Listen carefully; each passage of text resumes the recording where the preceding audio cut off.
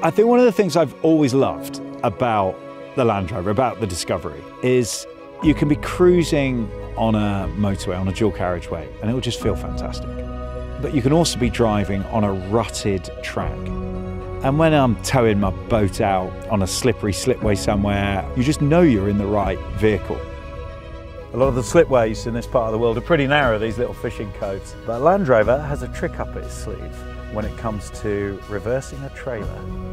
Takes all the stress out of reversing, reversing a trailer.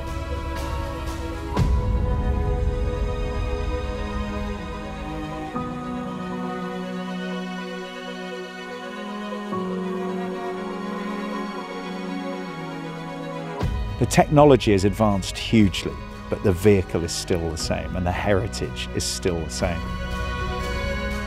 We went through a whole variety of different terrains, and you knew that whatever was under your wheels, the car could deal with it.